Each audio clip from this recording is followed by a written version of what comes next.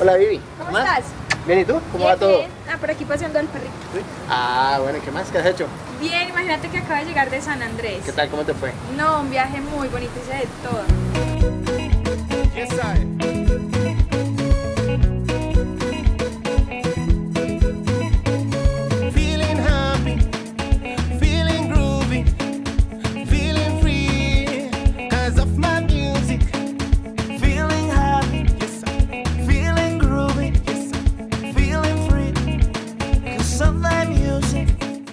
Ve, Vivi, ¿no fuiste al tour de las rayas? No, a mí me ofrecieron el tour de las mantarrayas, pero yo no fui porque a mí esos animales me dan mucho miedo y fueron los que mataron al cazador de cocodrilos. entonces- No, no, no. Espérate, yo te explico algo sobre el tour y sobre las rayas.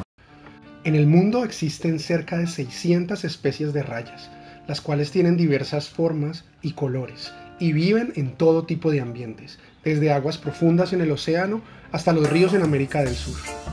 La especie que puedes encontrar nadando en la isla de San Andrés se conoce comúnmente como stingray y es muy diferente a las verdaderas mantarrayas. Las mantarrayas son animales mucho más grandes, pueden medir hasta 7 metros de ancho, viven nadando en el océano y nunca las verás acostadas en el fondo. Ah, y algo muy importante, a diferencia de las stingrays, las mantarrayas no tienen aguijón, por lo cual ellas no fueron las responsables de la muerte del cazador de cocodrilos. Las stingrays por su parte pueden medir hasta metro y medio de ancho y vivir hasta los 15 años. Les gusta pasar la mayor cantidad de tiempo posadas en el fondo y si no las molestas verás que son animales muy tranquilos con los cuales nadar.